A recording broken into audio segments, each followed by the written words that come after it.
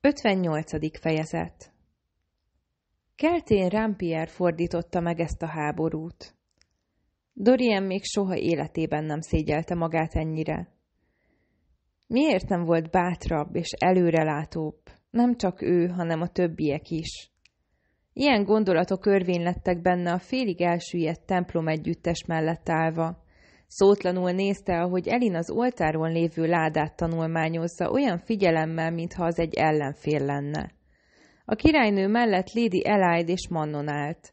Lisandra a királynő lábánál hevert szellemleopárd alakban. Lenyűgöző volt a ládából sugárzó erő is. Elide pedig, amikor visszasétáltak a romokhoz, Mannon halkan valami olyasmit mondott Elinnek, hogy Elide-ra maga Enit vigyáz a többiekre pedig más istenek. Lorkán lépett a romok közé oldalán Róvennel.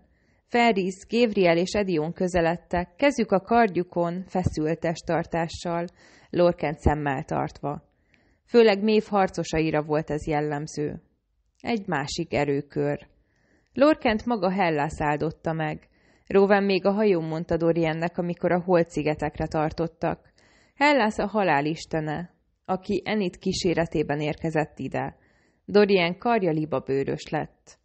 Lorkent és Elájdot egy-egy istenség pártfogolta és vezette ide finoman, csendesen. Nem volt véletlen, nem lehetett az. Mannon Dorientől néhány lépésre beszélgetett a többi lányjal, de ahogy meglátta az arcán az aggodalmat, odalépett hozzá. Mi a baj? Rossz előérzetem van, mondta Dorian, és összeszorította az állkapcsát. Azt várta, hogy Mannon lekezelően, gúnyosan reagál majd, de ő csak tovább kérdezett. Kifejtenéd? Dorian válaszolt volna, de Elin ekkor fellépett az emelvényre. Most meglátják az árat, és Elin az árral vissza fogja tudni tenni a rémkulcsokat a kapuba. Kelténnek és Elájdnak köszönhetően már két kulcs van a birtokukban, csak a harmadik hiányzik, ami Eravennél van. De ha megszerzik az árat, Róven a királynő mellett termett, aki bék- bekémlelt a ládába, aztán Mannont kereste a tekintetével. Gyere fel ide, kérte ijesztően nyugodt hangon. Mannon bölcsen nem ellenkezett. Sem a hely, sem az idő nem alkalmas arra, hogy alaposan megvizsgáljuk, mondta Róven a királynőnek. Felvisszük a hajóra, és majd ott kitaláljuk, hogyan működik. Elin egyetértése jelül mormogott egyet, de mintha elsápadt volna. Először tisztázzuk, hogy mi van a ládában. Mi van, ha az árat nem is hozták a templomba? kérdezte Mannon. Nem tudom. Dorian még soha nem hallotta, hogy Elin ilyet mondott volna, ezért felcuppogott a lépcsőn, és ő is megnézte a ládát. Csöpögött róla a víz. Nem volt zár a ládában, legalábbis nem úgy, ahogy várták, ahogy a királynőnek ígérték és utasították, hogy keresse meg. A kőládában csak egy dolog volt. Egy tükör, vasfoglalatban. Annyira régi volt, hogy a felülete aranyszínűnek tűnt, a tükör és a foglalat is foltos volt. A szélén tekervényes minta, a jobb felső sarokban pedig Ellen a szemét látták. Egy boszorkány jelképet. Mi a pokol ez? kérdezte Edion lentről. Manon felelt a komor királynőre pillantva. Boszorkány tükör. Micsoda? kérdezte Elin. A többiek is közelebb jöttek. Manon a körmével megkopogtatta a láda kőfalát. Mielőtt megölted a sárgalábút, nem utalt előtte neked arra, miért jött Résvárba? Mit akar tőled vagy a királytól? Dorian is lázasan töprengett, de nem emlékezett semmire. Semmit nem mondott. Elin kérdőn nézett Dorianre, de ő is a fejét rázta. Elin megkérdezte a boszorkányt. Te tudod, miért jött Résvárba? Manon alig észrevehetően bólintott, mintha tétovázott volna. Dorian feszülten várta a választ. A sárgalábú a királlyal akar találkozni. Meg akarta neki mutatni, hogyan működnek a boszorkányok mágikus tükrei. A legtöbbet összetörtem, jelentette ki Elin karbatett kézzel. Azok csak olcsó vásári másolatok voltak. A valódi boszorkány tükröket nem lehet összetörni. Legalábbis nem könnyű.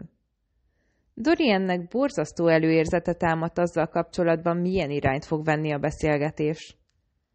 Mire képesek ezek a tükrök? Kérdezte. Látod bennük a jövőt, a múltat és a jelent. Beszélgetni is lehet egy távoli személlyel, ha annak is van tükre. Aztán vannak ritka ezüst tükrök is, ha valaki ilyet készít, akkor valami életfontosságú dolgot kell érte feláldoznia. Manon elhallgatott. Dorienben felmerült, hogy ezeket a történeteket még a fekete csőrűek is csak tábortüzek mellett elsuttogva hallhatták. Olyan tükrök is vannak, amelyek felerősítik és megtartják a nyers erőt, amit aztán rá lehet irányítani valamire vagy valakire. Azaz fegyver, mondta Edion, mire Mannon biccentett. A tábornok is összerakhatta a mozaikokat, mert Dorient megelőzve megkérdezte. A sárgalábú a fegyverek miatt akart vele találkozni, ugye? Mannon hosszan hallgatott. Dorien tudta, hogy Elin mindenkiből képes kipréselni a választ, ezért figyelmeztető pillantást vetett rá, hogy fogja vissza magát. Elin hallgatott tehát, és a többiek sem szólaltak meg. A boszorkány végül így szólt. Tornyokat építenek. Hatalmasakat.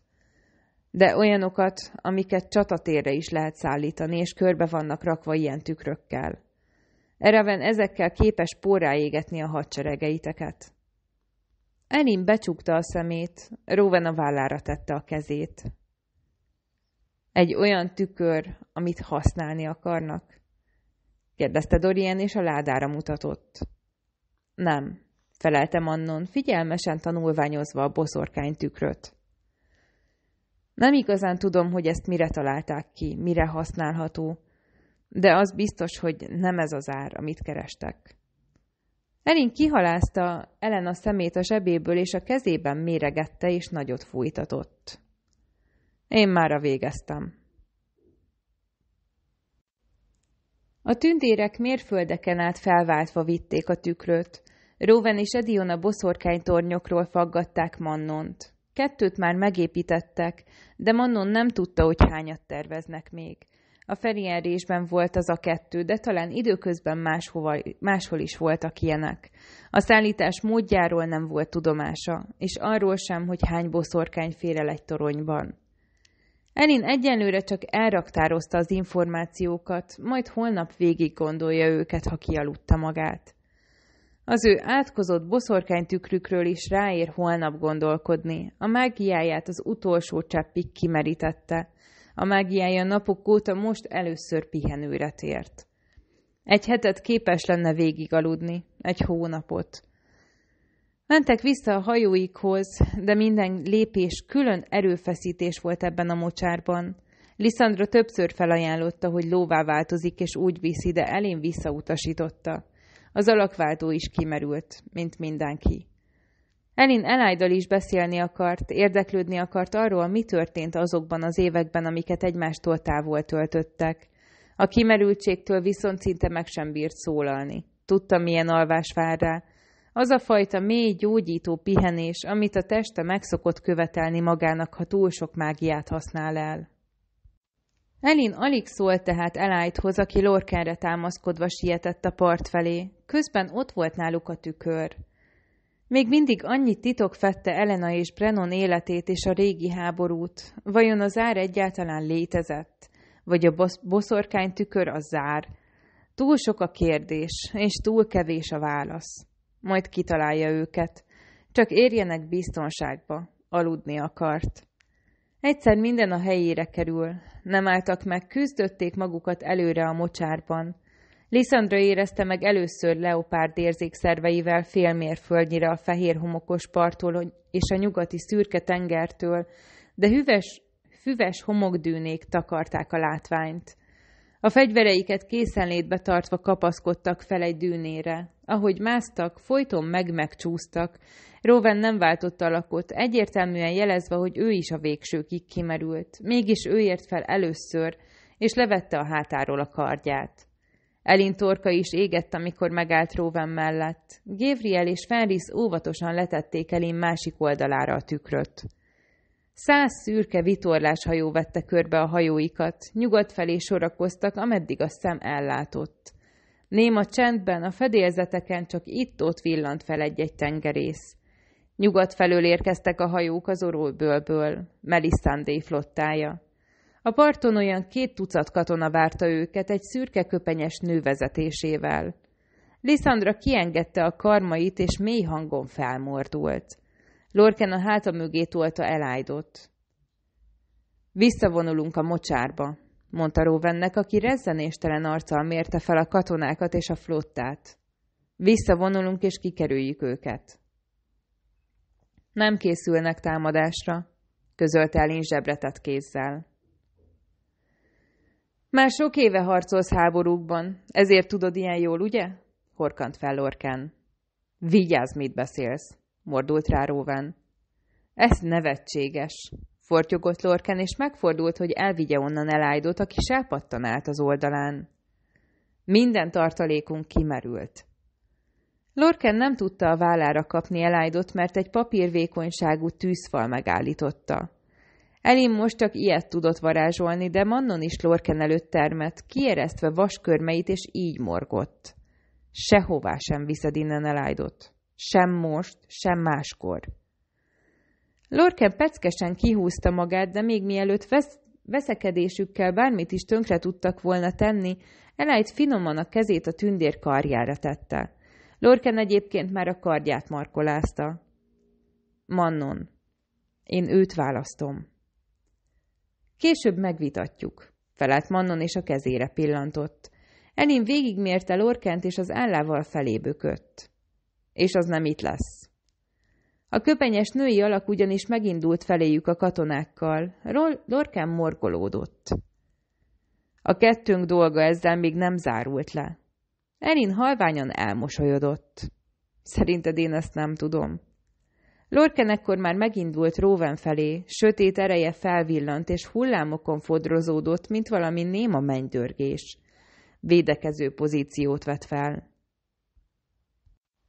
Elin előbb kőarcú hercegére nézett, aztán Edionra, aki kardját és pajz, pajzsát készenlétben tartotta, majd a többiekre siklott a pillantása. Üdvözöljük őket! Elin, próbálkozott Róván. Elin már megindult lefelé a dűnén, minden igyekezetével azon volt, hogy ne csúszson meg a csalók a homokon, és felszegve tartsa a fejét. Mögötte a többiek idegei pattanásig feszültek, a légzésük azonban egyenletes maradt. Készen álltak bármire. A katonák súlyos, ám de kopott, szürke páncélzatot viseltek, arcuk durva volt, helyes és figyelmesen nézték őket. Ferris rámordult az egyikre, mire a férfi elkapta a tekintetét. A köpenyes nő azonban levette a csukjáját. Macskaszerű puhasággal közeledett, és olyan tíz lépésre állt meg tőlük. Elén mindent tudott róla. Tudta, hogy húsz éves, hogy középhosszú, vörösborszínű haja természetes, a szemei is vörösbarna. Elén semmelyik kalandja során egyetlen országban sem látott ilyet. Tudta, hogy pompás kardjának gombján a farkasfej családjának címere. Tudta, hogy apró szeplők vannak az arcán, ismerte mosolygós száját, finom ám, de kőkemény izmos karjait, amit épp keresztbe font előttük. Cliffy Ansel, a nyugati pusztaság királynője érzéki szájával finoman elmosolyodott, és éneklő hangon ezt kérdezte. Ki engedte meg neked, Elin, hogy az én nevemet használd a küzdőtéren? Akkor használom a nevedet, Ansel, amikor csak kedvem szottyan rá, Jogom van hozzá, mivel megkíméltem az életedet, és hagytam, hogy mentsd a gyáva írhádat. A pimasz mosoly egyre szélesebb lett. Szia, te céda, dorombolta Ansel. Hello, te áruló, dalolta viszonzásul Elin, és szemügyre vette az előttük elterülő armadát. Úgy tűnik, hogy most időben sikerült ideérned.